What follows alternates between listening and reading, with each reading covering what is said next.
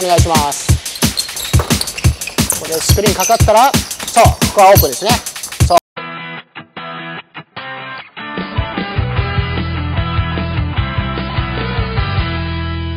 はい、えー、こんにちは中川です、えー、今回はですね、えー、5on5 とか、えー、また、まあ、3対3で今日はお見せするんですが実践の流れの中で、えー、パス回しで見落としがちなポイントですね、えー、ちょっと往にしてあるシチュエーションを切り取ってどのように、対応すればどのように考えればいいかっていうところを、ご説明していきたいと思います。まずは、学生の皆さんにちょっと実演して、お見せしていただきます。お願いします。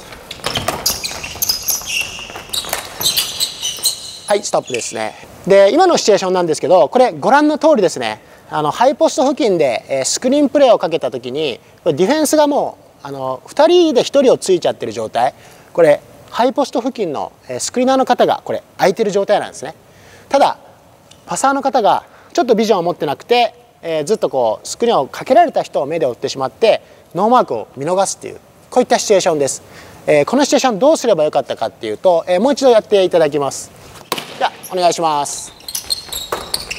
これスクリーンかかったらそうここはオープンですね。そうグッドですグッド、えー、今のような形ですね、えー、バスケットで、え必ず忘れてはいけない一つの考えがあのスクリーンをかけた後っていうのがかなりノーマークになりやすいんですね、えー、やっぱり今のように、え守っている人の背中からスクリーンをした時は、えディフェンスも一生懸命あのノーマークを、えー、渡す前とついていきます。その時に1人のオフェンスに2人のディフェンスがついていくことが、えー、結構あるんですね。そんな時にやっぱりスクリーナーの選手を見逃さないようにってことをこれぜひ意識してほしいと思います。なので今のようにですねシュートが上手な選手をスクリーナーにすることで、えー、オープンなシュートを狙っていくことができますので、えー、これぜひですねバスケットの発想として、えー、取り入れられてみてください。はい、えー、今回はですねえ 5on5、えー、実践の中でですね起こりがちな、えー、パス回しの、えー、ちょっと見逃しがちなポイントについてご説明させていただきましたが、えー、これとはまた別の、えー、ボールを持ってからの1対1ですね。